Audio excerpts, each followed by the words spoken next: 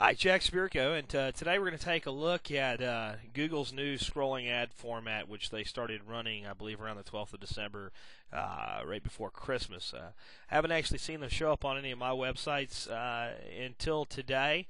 Uh, really wasn't really paying attention to it much, uh, but I was uh, working on one of my sites today and saw this and thought it would be something uh, be interesting to point out on our blog. Uh, something you need to be aware of, uh, either if you're an AdSense publisher that's displaying ads on your site, but I, I think really you want to be aware of it if you're you're advertising with Google's pay-per-click marketing and uh, you're spending your money and you're you're taking part in the publisher network. It'd be good to know about what's going on here.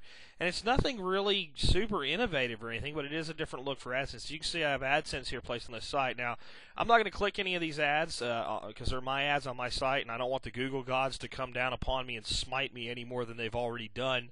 Uh, but I'm going to show you how this scrolling works. And you see this little control here, and it does kind of you know work very intuitively and attract user interest. I know since I saw it, I was like, you know, what is that? And when you click on it, as you can see, it'll scroll to uh, four new ads, and there's one, so that's eight ads so far and 2, so now that's 12 ads that have been displayed.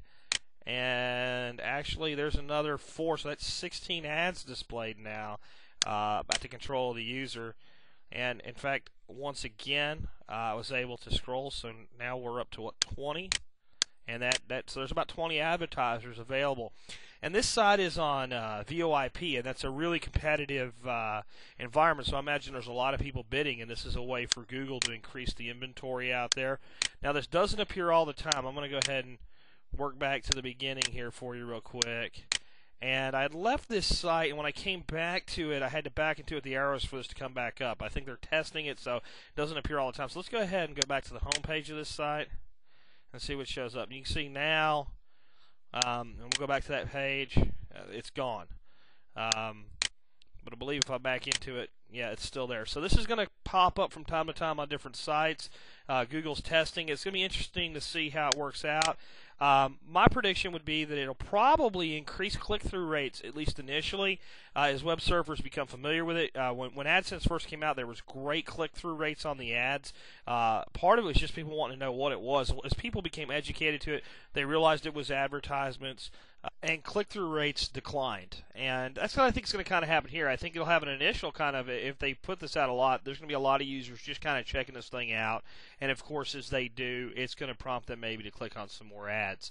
Uh, anyway, it's kind of a cool interactive feature, and uh, if you're an advertiser and you're monitoring the websites that you're displaying ads on, kind of keep an eye on it and uh, uh, see if it on those uh, sites if it shows up and if your ads get shown, and kind of look at how much you're bidding and you know how many scrolls down, or are you in the first block of advertising. Uh, and if you're a publisher, of course, keep an eye on your sites and see if this turns up, and just kind of pay attention to it. Right now, there's not a whole lot we can do other than take a look at it. I just thought it was kind of cool, and I thought I'd make a good topic for a blog, so I shot a little video on it. Hope you enjoyed it, and I'd love to hear your feedback. If you've seen this on your sites, uh, either as an advertiser or a publisher, please post a comment in our comment section and let us know about it. Thank you and have a great day.